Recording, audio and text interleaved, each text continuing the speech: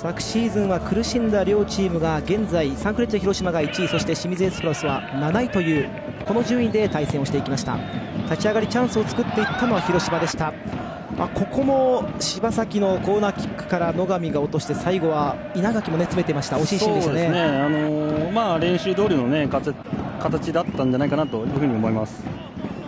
ここクリアボールをインターセプトして青山。青山縦に出して柴崎。柴崎のこのボールが最後、6タンの足に当たって押し込んだのがパトリック。そうですね、まあ、清水にとってはねアンラッキーな形で、まあ、失点してしまいましたけどね、まあ、このシーンだけで言えばもうパトリック選手がね、はい。まあ、あそこに入っていくっていうところで、えー、まあ、こういったゴールが生まれてるとは思いますからね。そうですね。その3分後でした。広島コーナーキックから再び奪って柴崎マイナスのボール。ここを野上抑えの効いたシュートを。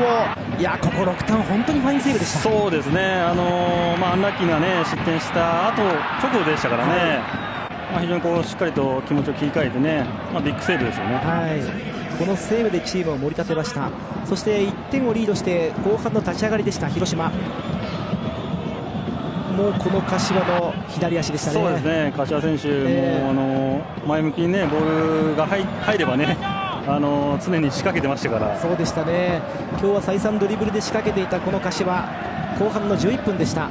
ドリブルで中に切り込んで最後は右足のシュート。これが美しいシュートでした。素晴らしいね。パーフェクトなゴールになりましたけど、まあ、このシーンでもねあの佐々木選手がね非常にこうしっかりとオーバーラップしたことでね、1人釣り出されましたからまあ、そういった意味でもね、あのー、もちろん柏選手のゴール素晴らしいんですけど、まあ、佐々木選手のねそのオーバーラップという部分もね、まあ、評価に値するかなと思います。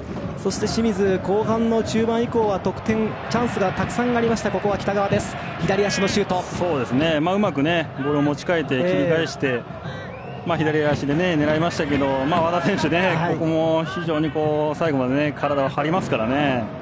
そして後半の43分でした。このボールチョンテセ。そうですね、えー、この90分の中ね清水の方はこのシーンがね一番の決定機になりましたけどね。